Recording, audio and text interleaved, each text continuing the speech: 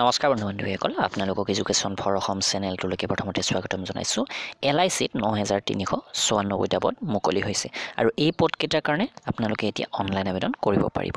অসমৰ বিভিন্ন জিলাত আপোনালোকে সংস্থাপন পাব। ইয়াৰ অনলাইন আবেদনৰ বিষয়ে তথা এক্সাম ডেট সকলোখিনি ভিডিঅ'টোত আলোচনা কৰিম। আহক ভিডিঅ'টো আৰম্ভ কৰোঁ। তো এল আই চিৰ এই ভেকেঞ্চিটো সম্পূৰ্ণ তিনি বছৰৰ মূৰত আহিছে এপ্ৰেণ্টিছ ডেভেলপমেণ্ট অফিচাৰ দুহেজাৰ বাইছ তেইছ। আৰু ইয়াতে গোটেইকেইটা জোনৰ বাবে মুঠ আঠটা জোনৰ বাবে আঠটাকৈ এডভাৰটাইজমেণ্ট মুকলি কৰি দিছে। আৰু আমাৰ যিটো জোন হ'ব তো আমাৰ অসমৰ কাৰণে ভেকেঞ্চি থাকিব ইষ্ট জোনত। আৰু ইষ্ট জোনৰ যিটো হেড অফিচ সেইটো কলিকতাত আছে। ইয়াতে বঙাইগাঁও গুৱাহাটী যোৰহাট আৰু শিলচৰ এই চাৰিখন ঠাইত ভেকেঞ্চি আছে।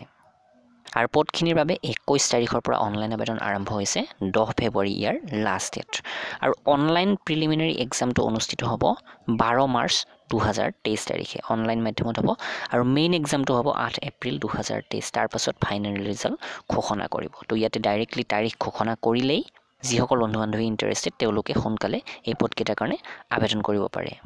পদকেইটাৰ কাৰণে দৰমহাৰ নিৰিখো যথেষ্ট ধুনীয়া আপ টু একাৱন্ন হাজাৰ পাঁচশ টকা পৰ্যন্ত আপোনালোকে মাহিলী পাব পাৰে। তো ইয়াতে যিকোনো গ্ৰেজুৱেশ্যন হ'লে আপোনালোকে এপ্লাই কৰিব পাৰিব আৰু বয়সৰ সময়সীমা একৈছৰ পৰা ত্ৰিছ বছৰলৈকে ৰাখিছে। যদি অ' বি চি হয় তেত্ৰিছলৈকে পাৰিব এছ চি এছ টিয়ে পঁয়ত্ৰিছ বছৰলৈকে এপ্লাই কৰিব পাৰিব। আৰু ইয়াতে এল আই চিৰ এজেণ্টসকলৰ বাবে বিশেষ এজ ৰিলেক্সেশ্যন দিয়া হৈছে।